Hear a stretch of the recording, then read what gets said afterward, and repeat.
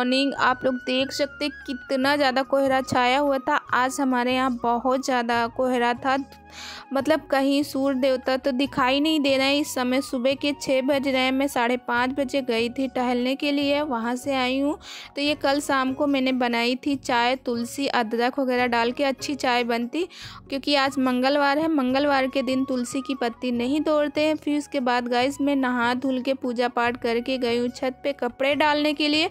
और इस टाइम पे वही बज रहे होंगे। सुबह के साढ़े आठ बज रहे हैं, मगर सूर्य देवता कहीं नज़र नहीं आ रहे। मैं पूरा आपको यहाँ का व्यू दिखाती हूँ। पास के घर तो दिख रहे थे, मगर दूर की जो बिल्डिंगें थी, वो भी नहीं दिख रही। फिर आके यहाँ मैं चाय छान रही हूँ, चाय पीती हूँ, फिर आप लोगों से मिलती हूँ guys hello friend good evening welcome to my new blog मैं मधुलिका, आप सबका स्वागत करती हूँ आपके अपने यूट्यूब चैनल जिसका नाम है Madhulika UP R B L और इस टाइम बज रहे हैं शाम के साढ़े पाँच। मैंने कहा, चलो भाई ब्लॉग शुरू करते हैं, क्योंकि आज मैंने कोई ब्लॉग नहीं बनाया। अभी तक मैंने कैमरा ही नहीं उठाया था। और फिर उसके बाद बिट्टू जी मेरी क्या कर रही हैं? बिट्टू देख रहे हैं टीवी ये देखो, ये बैठ के यहाँ टीवी देख रहे हैं, बैठ के क्या लेट के। और देख सकते हो, मैंने कुछ भी नहीं किया, मुँह में अपने कुछ लगाया ही नहीं। आज टाइम भी नहीं मिला मुझे। आज सारा दिन में इतना व्यस्त थी, इतना बाबू, आवाज़ बंद करो। इतना व्यस्त थी कि मुझे टाइम नहीं मिला कुछ भी करने के लिए। तो अभी मैं करूँगी कंघी वगैरह और फिर उसके बाद दीपक वगैरह जलाएँगे। क्योंकि शाम को छः बजे मैं दीपक छः साढ़े छः बजे मैं दीपक जलाती हूँ। अक्सर मेरा रूटीन बना हुआ है। और ये देखो, इनके साहेब के कल से पेपर है। बाबू हाय करो। गाइस ये इतना तंग करते हैं पढ़ाई नहीं करते। बताओ पढ़ाई नहीं करेंगे तो पास कैसे होंगे? पढ़ाई करना ही नहीं। क्या बनना है? आईएस बनना क्या है? आई एस एम बना के रखे आई एस आई एस के लिए क्या किया जाता है? बताओ जरा सबको बहुत सारी पढ़ाई करी जाती है। आई एस के लिए बहुत सारी पढ़ाई की जाती कितने घंटे? Total eighteen hours eighteen hours कम से कम अठारह घंटे पढ़ाई की जाती है आई बनने के लिए। तो बेटू मेरे चाह रहे हैं मैं आई बनूं। और मेरी भी यही इच्छा है कि मेरा बेटा आई बने। माँ कुछ नहीं कर पाई तो कम से कम बेटा ही कुछ कर ले। मगर पढ़ाई क्या किए हो? कल का पेपर है आपका? किस चीज़ का पेपर है? ईवीएस कल ईवीएस का पेपर है। अब चलो पढ़ाई करो। अब सर आने वाले हैं ना? तो अभी इनके आएँगे छह बजे इनके सर आएँगे पढ़ाने के लिए। और गाइस आज खाने में क्या बनाते हैं? खाने में आज बनाऊँगी गोभी की सब्ज़ी आलू गोभी और मटर की सब्ज़ी क्योंकि काफ़ी दिनों से मैंने बनाई नहीं। वही बनाऊँगी। फ़िलहाल मैंने चाय वगैरह पी ली है। देखो कुछ बर्तन है इनको धुलना है। आ, बाकी चाय वगैरह पी ली है। और ये देखिए ये लेके आई हूँ मैं चावल। तो चावल लेके आई दो। और इनको अभी रखूँगी डिब्बे के अंदर। ये टंकी जो दिख रही है ये वाली छोटी वाली। इसमें रखेंगे चावल। तो चावल भर के रख दूँगी।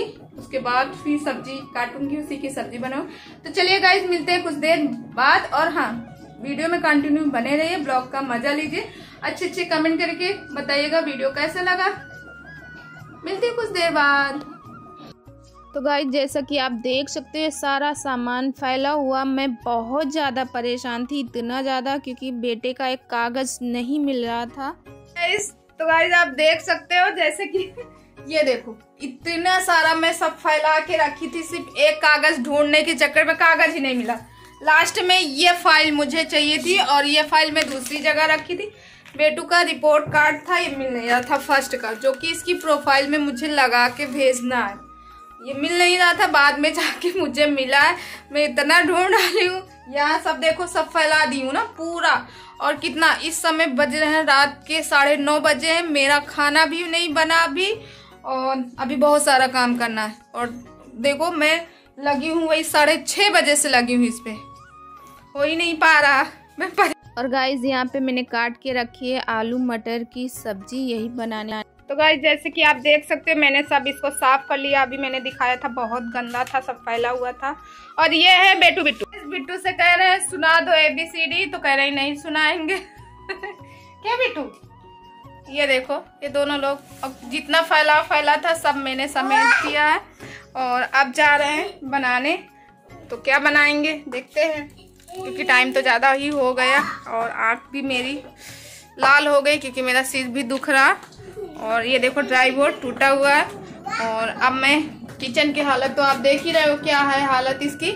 तो अब ये सब सही से रखती हूँ और अभी गई थी दो मिनट के लिए बाहर क्योंकि मुझे कराने थे फ़ोटो कॉपी वगैरह तो सब मैंने करवा लिया है। और उसके बाद ये सारा सब्ज़ी वगैरह है। तो देखते हैं क्या बनाते हैं। शायद तहरी ही बनाएँगे। और कुछ नहीं क्योंकि टाइम बहुत ज़्यादा हो गया तो चलिए गाइज़ मिलते हैं कुछ देर बाद। तो गाइस जैसे कि आप देख सकते हो, ये है चावल। तो चावल को मैं दो तरह के लेके आई हूँ और फिर उसके बाद इसमें रख रही थी। तो ऐसे झिल्ली में जैसे पॉलीथीन में है, वैसे ही रख दूँगी टाँकी में, क्योंकि ये चावल दोनों अलग अलग हैं, फिर मिक्स हो जाएँगे। और आप देख सकते हो साइड में मैं सब्ज़ी वगैरह काट के रखी थी। मैंने सोचा था सब्ज़ी बनाऊँगी, सब्ज़ी, चावल, रोटी, मगर क्या करें, बेटे के कागज़ की वजह से इतना ज़्यादा मैं परेशान हो गई, इतना परेशान हो गई कि वो मुझे मिल ही नहीं रहा था और बहुत ज़रूरी था क्योंकि उसकी प्रो, प्रोफ़ाइल तैयार करके मुझे देनी थी।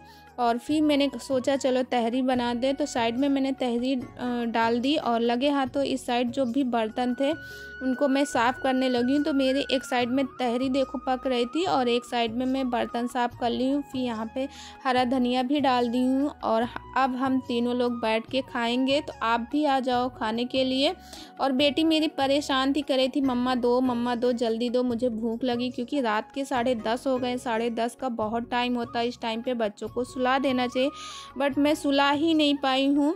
और फिर उसके बाद इसमें फिर मैंने घी डाला और बच्चे के साथ खाते हैं, फिर आप लोगों से मिलते हैं। हेलो गाइस गुड मॉर्निंग और आज मैं बहुत परेशान हूँ, ऐसे दिन देखने पड़ रहे हैं, क्या बताऊँ। आज लग रहा कि भूखे ही रहना पड़ेगा ऐसे ऐसे मतलब ना चाह के भी वो सब करना पड़ा। मैं आपको दिखा सकती हूँ कि क्या बताऊँ?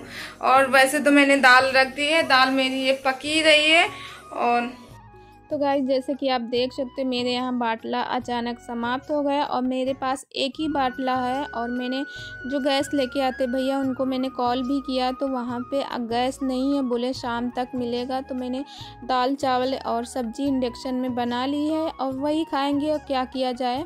और बेटे के लिए मैंने इंडक्शन में पराठा कैसे भी करके बना दिया बट रोटियाँ नहीं बनती हैं।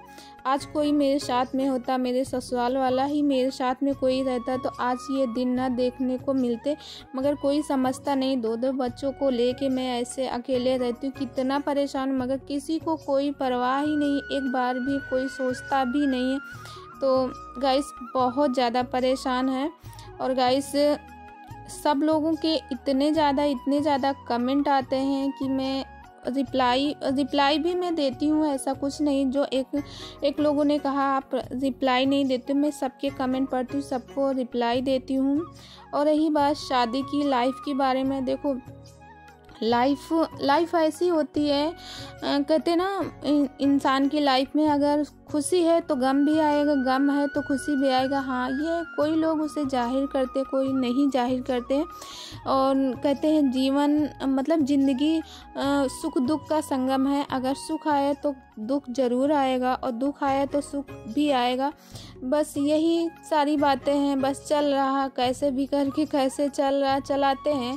और बच्चों का मैं सोचती हूँ, बच्चों को अपने ज़्यादा से ज़्यादा खुशी दूँ और ज़्यादा से ज़्यादा केयर करूँ, उनको किसी चीज़ की कमी ना होने दूँ और उनके साथ खेलूँ, बैठूँ, उठूँ और उनको बहुत टाइम दूँ, जितना टाइम हो उन्हीं को मैं दूँ। ऐसा मैं करने की बहुत कोशिश करती हूँ और लगभग सारा समय मेरे बच्चों के साथ ही मेरा निकलता है। तो गाइस आज का ब्लॉग कैसा लगा? प्लीज़ मुझे कमेंट करके ज़रूर बताइएगा। मैं अपनी दुनिया अपने बच्चों के साथ ही निकालना चाहती हूँ। तो गाइज़ आप देख सकते हो मेरा सारा काम हो गया है और इस टाइम बज रहे होंगे दोपहर के डेढ़ बज रहे हैं। यानी आज ये मंगलवार का कुछ वीडियो है और कुछ सोमवार के दिन का वीडियो है। तो सब काम हो गया और इस साइड दूध गर्म करें। तो गाइज़ इस ब्लॉग को यहीं करते हैं एंड और कल मिलते हैं एक अच्छे से ब्लॉग के साथ।